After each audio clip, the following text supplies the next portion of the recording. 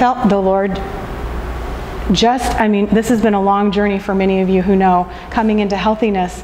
Um, but just recently, I felt the Lord go, and that's another level of awareness that you're going to no longer have. I don't want you to even know about other people's neediness with you. Because you know, you know, like you can feel the temperature, right, that someone's at that, that atmosphere. And the lord goes I don't, I don't have you to be tuned into that anymore. I have you to be tuned into my heart and what i'm doing. So um,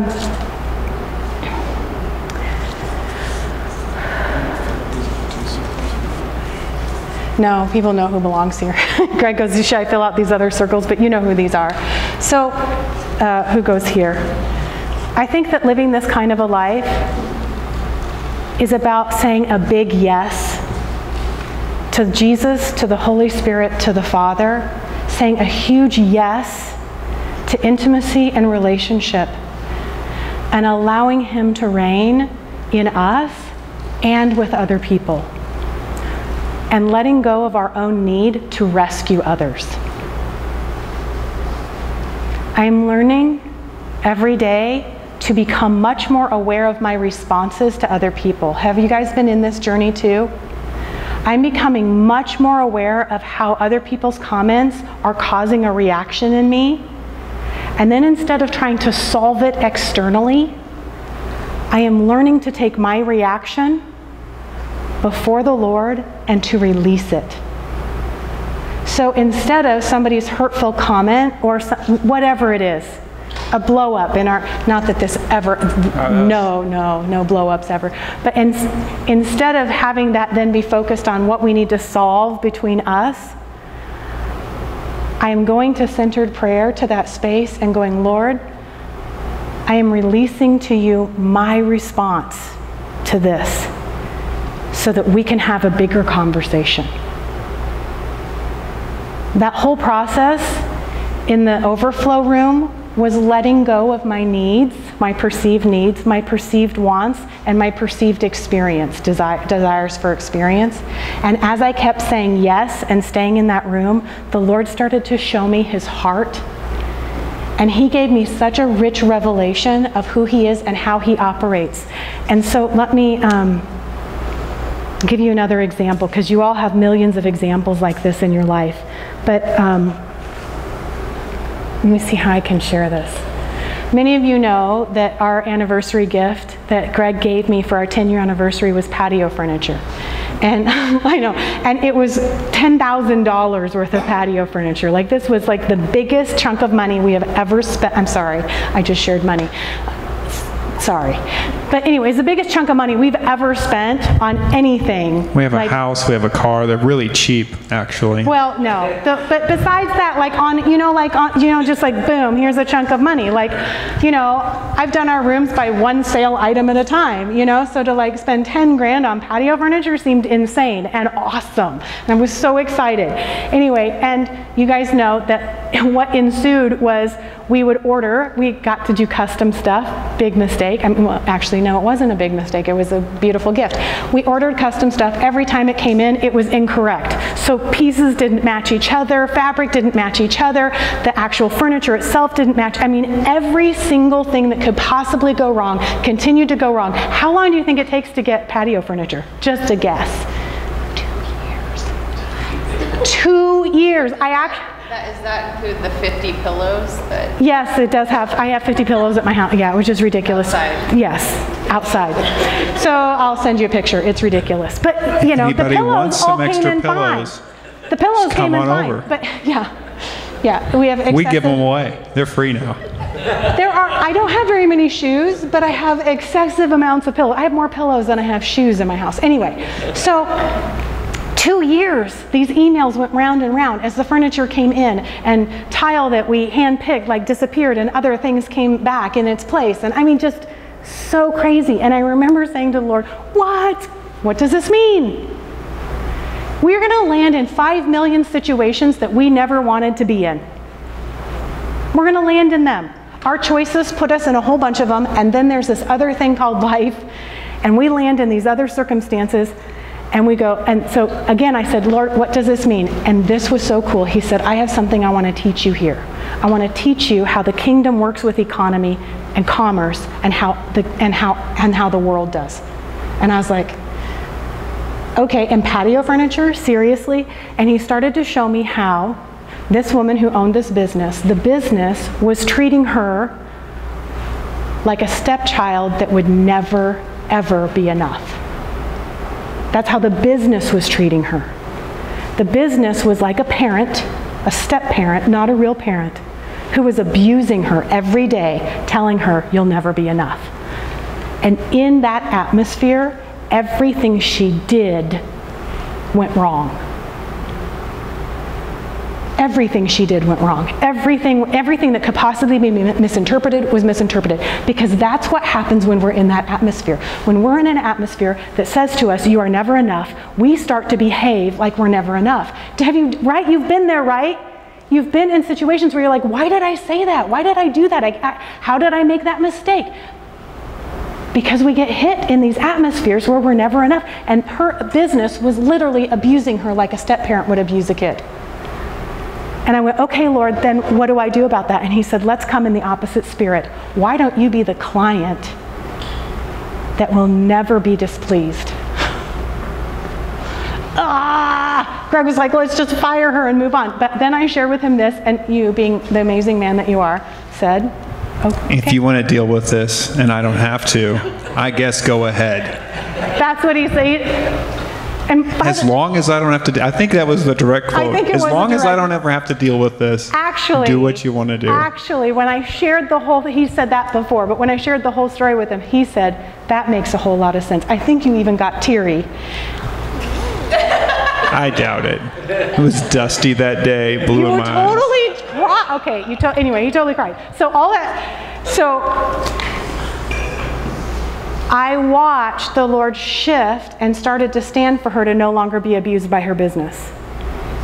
I stood for her business to come under the kingdom, which is God is a father who can never be displeased with us.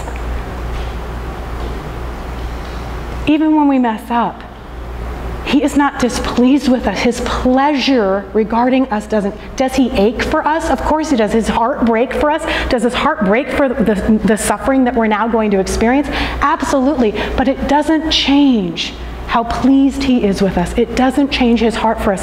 And I started to see, and so the Lord started to show me in this situation for two years with patio furniture that this world's economy operates on needs and lack. Our entire economy, every commercial that you watch is based on what you lack and what you need. You buy things because you need them and you lack them. That's how our economy is driven. But the economy of the kingdom is based on, I'm going to have you put up this word now, satisfaction. It's based on God's satisfaction. And if you look up satisfaction, satisfaction has meanings in the mathematical world, in the creative world, and in linguistics. And in all of those different worlds, satisfaction always means the same thing it's perfect and complete, lacking nothing. When you satisfy an equation, you know this, Adrian, it is balanced, it is satisfied, it's complete, perfect, lacking nothing. And James said, when you experience this, when you experience negative things, you don't experience them so they will build character.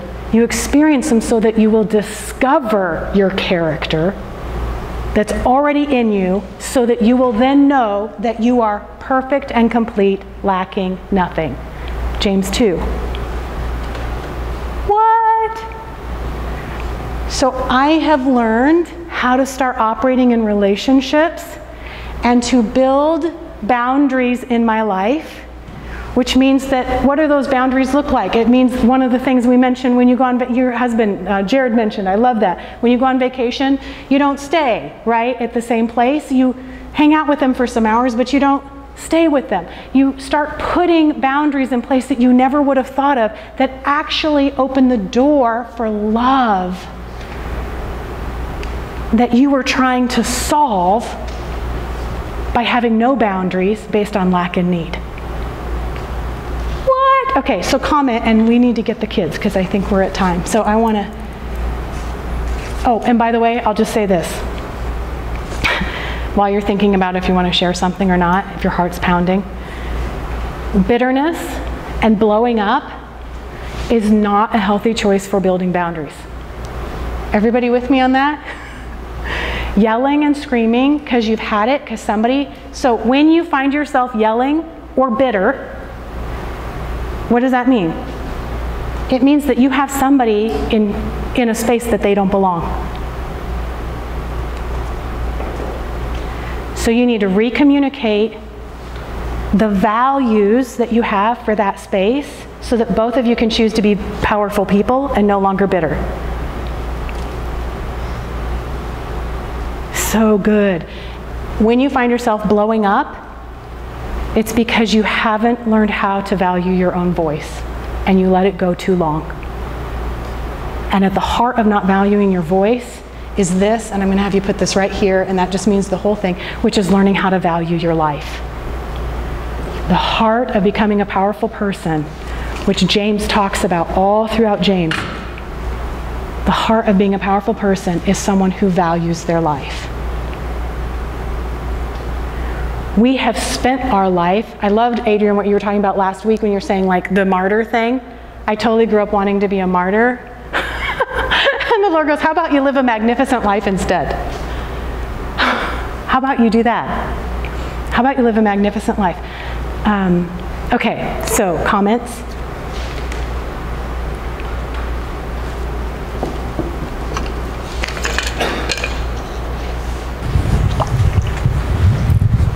Was good stuff, Angela.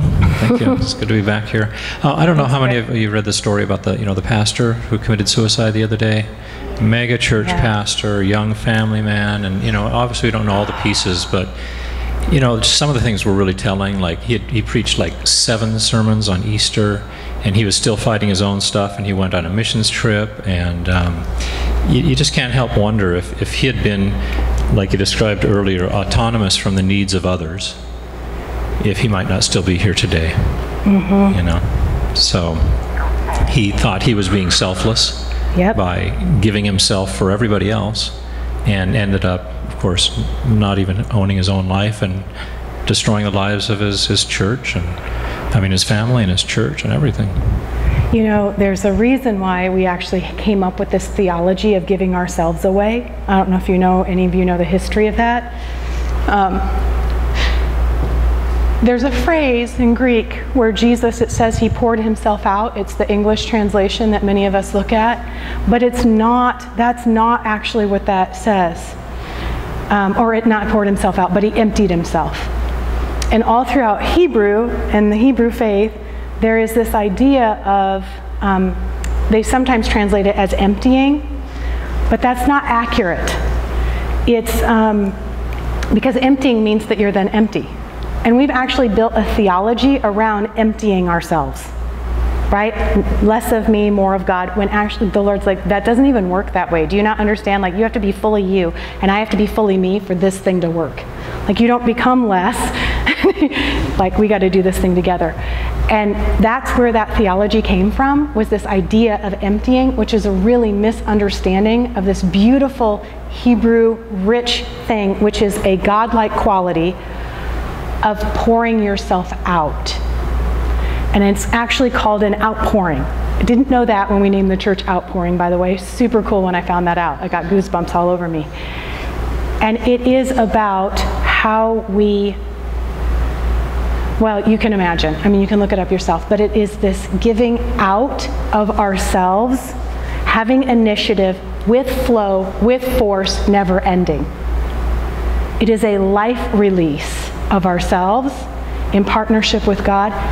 But that's actually where that theology came from that we empty ourselves on behalf of others is a misunderstanding of a beautiful, rich concept of actual, true outpouring. Like, isn't that wild?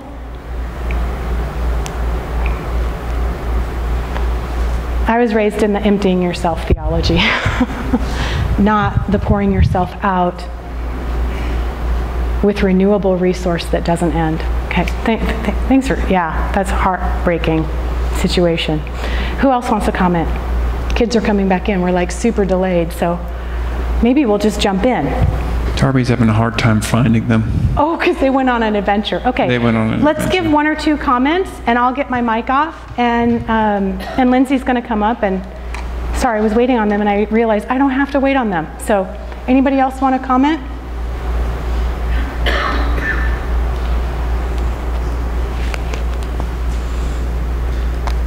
I am so not uncomfortable right now. Just teasing, I'm really not. I used to wait like two seconds, and Greg goes, that's not long enough. So Lynn's is going to borrow the microphone and then I'll give you mine back.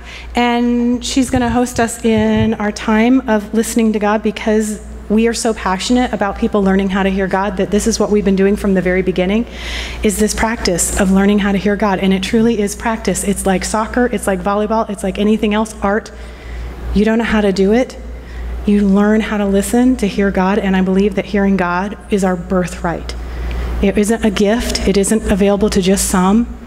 None of us are kept from hearing our Father's voice and His satisfaction for us. Living from a place of satisfaction instead of a place of dissatisfaction requires that we hear how He feels about us and about every one of our life circumstances. So um, it's usually Jared and Lindsay, and as you know, um, but it's Lindsay today, and I'm going to have Greg um, just walk around with mics. So why don't you introduce us to what it is that we're doing while I'm unmiking, and then we'll go from there.